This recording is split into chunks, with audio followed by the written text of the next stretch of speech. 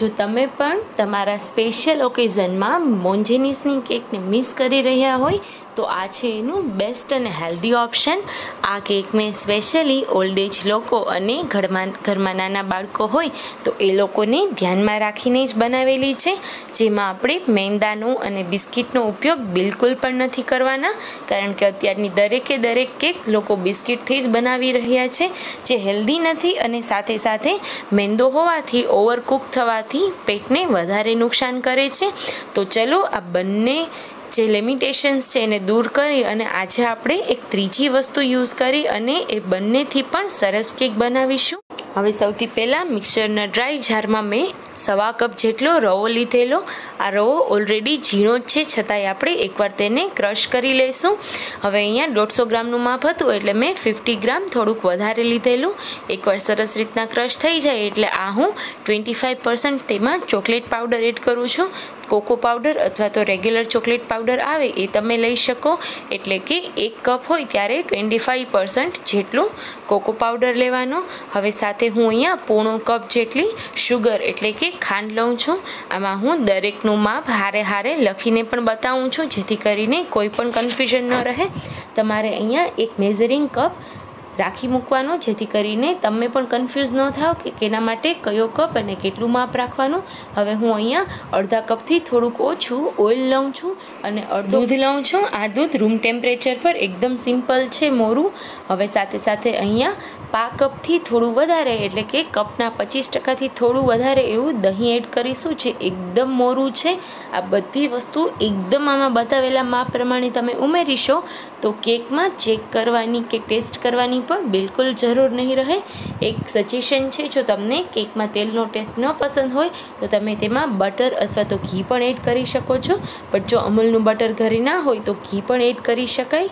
હવે આપણું કેકનું બેટર હું તમને અહીંયા હલાવીને બતાવું છું. એકદમ સરસ સોફ્ટ એવું બની ગયું છે. અને આ બેટર જેટલું સોફ્ટ હશે એટલી તમારી કેક ખૂબ જ સરસ સ્પોન્જી બનશે. આ બધી વસ્તુ તમે એડ કરો એટલે ઘણાને ડાઉટ થશે કે કેટલી વાર સુધી મિક્સચર ચર્ન કરવું. તો ફક્ત ને ફક્ત ત્રીસથી ચાલીસ સેકન્ડ વધારે વાર આને ક્રશ કરવાની બિલકુલ જરૂર નથી. અને આ બેટર અત્યારે જે તમે મેંદાનું અથવા તો કેકને ક્રશ કરીને જે બનાવતા હોય એવું જ બની જાય છે. તો આ એનું એક હેલ્ધી અને બેસ્ટ ઓપ્શન છે. હવે આપણે બંને કુકરને પ્રીહીટ થવા મૂકી દઈએ. આમાંથી હું જનરલી નાની નાની બે કેક બનાવીશ. હવે કુકરમાં આવી રીતના મેં સોલ્ટ અલગ રાખેલું કે જેમાં આપણે શીંગ બનાવતા હોઈએ, બેકિંગની વસ્તુઓ બનાવતા હોઈએ. એને આવી રીતના સ્પ્રેડ કરી અને અંદર નાનો એવો કાંઠો મૂકી અને કુકરને ઢાંકણાથી સીટી અલગ કરી અને દસથી પંદર મિનિટ પ્રીહીટ થવા મૂકી દીધેલું કે જે ઓલરેડી હવે પ્રીહીટ થઈ ગયું છે. હવે આપણે સૂજી એડ કરેલી છે, એટલે કે રવો એડ કરેલો છે, તો તમે જુઓ છો એમ, રવો બધું મોઇશ્ચર છે, એનામાં એબ્ઝોર્બ કરી લીધું છે. ખૂબ સરસ રીતના આપણું બેટર પણ અહીંયા તૈયાર થઈ ગયું છે. હવે આપણે જેમાં કેક મૂકવાની હોય તેને ડસ્ટ કરી લઈએ. ડસ્ટિંગનો મતલબ અહીંયા બંને તપેલીઓ જે ફ્લેટ હોય, અહીંયા તમારે એલ્યુમિનિયમનો મોલ્ડ ન હોય તો પણ કેક ખૂબ સરસથી અને આરામથી બહાર નીકળી જશે. ઘણા લોકો કેકને અનમોલ્ડ કરવા માટે બહુ ઉતાવળ રાખતા હોય છે, પણ ખૂબ સરસ રીતના ઠરી જશે કેક. એટલે ઓલમોસ્ટ જ તે સરફેસથી દૂર થઈ જશે, એટલે કે તમે પ્લેટમાં ઊંધી વાળશો કે તરત જ કેક છે એ ડિમોલ્ડ થઈ જશે. હવે ઘી ચોપડીને આવી રીતના મેંદો છાંટીને હાથ વડે ખૂબ સરસ એને ફરતી બાજુ ફેલાવી અને વધારાનો મેંદો આપણે ઊંધો વાળી દેશો એટલે કે બધો મેંદો સરસ રીતના નીચે સ્પ્રેડ થઈ જશે અને વધારાનો નીકળી જશે. આવી રીતના હું બંને તપેલીને સેટ કરી લઉં છું.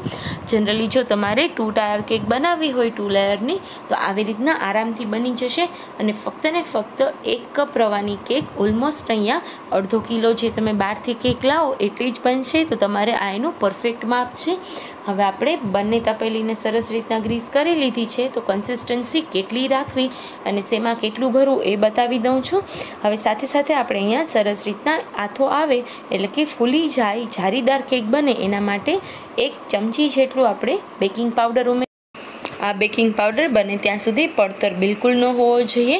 તો તમે જોઈ શકો છો, એકદમ નાની ચમચી હતી એટલે મેં દોઢ જેટલી ઉમેરેલી.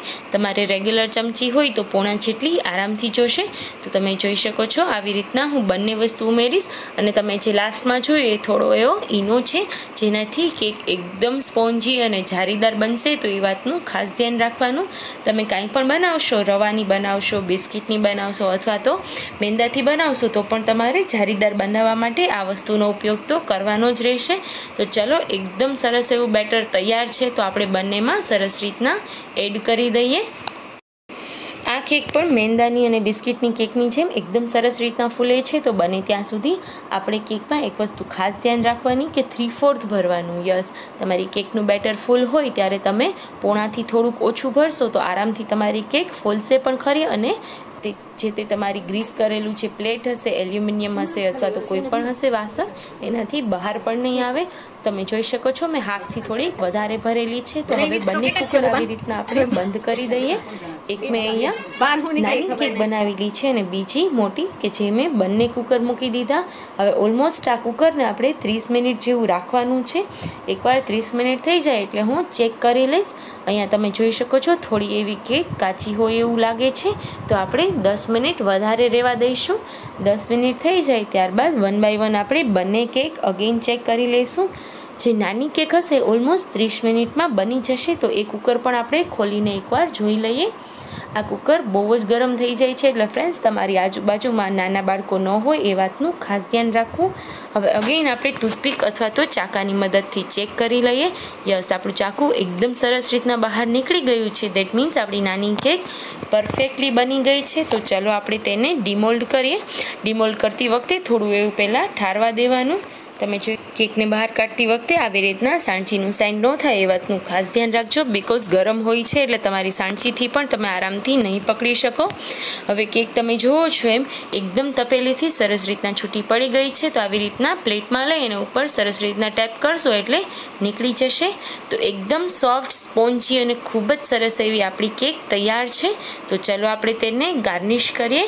ગાર્નિશ કરવા માટે મારા ઘરે ચોકલેટનો જે સ્લેબ આવે એ અવેલેબલ હતો, તમારી આગળ એ ન હોય અને આટલો કોસ્ટલી ઇવન લેવો પણ ન હોય, તો તમે ટેન ટેન રૂપીઝવાળી બે ડેરી મિલ્કને મેલ્ટ કરી અને એ પણ આરામથી નાની કેકમાં સરસ રીતના ડેકોરેટ કરી શકશો. સાથે સાથે હાર્શલી સિરપનું ટેન રૂપીઝવાળું પાઉચ આવે છે, એ યુઝ કરી શકાય. મેં અહીંયા બોટલમાંથી યુઝ કરેલું છે. જેનો ટેસ્ટ ચોકલેટ કેકમાં ખૂબ જ સરસ આવે છે. હવે આપણે એને વધારે ડેકોરેટ કરવા માટે ઉપર હાશલીનું જે સિરપ આવે છે, એને પાઇપિંગ બેગમાં એડ કરી અને સરસ રાઉન્ડ એવી ડિઝાઇન બનાવી. ખૂબ યમી એવી બની છે, હું તમને કટ કરીને પણ લાસ્ટમાં બતાવીશ. હવે આપણી સેકન્ડ કેક પણ અત્યારે બની ગઈ છે, તો તેને પણ આપણે સાથે સાથે ડેકોરેટ કરી અને ઉપર ત્રણ ચોકલેટના ફ્લાવર બનાવ્યા છે, એ મૂકી દઈએ, જેથી કરીને એ કેક પણ ખૂબ જ સરસ એવી બની જાય.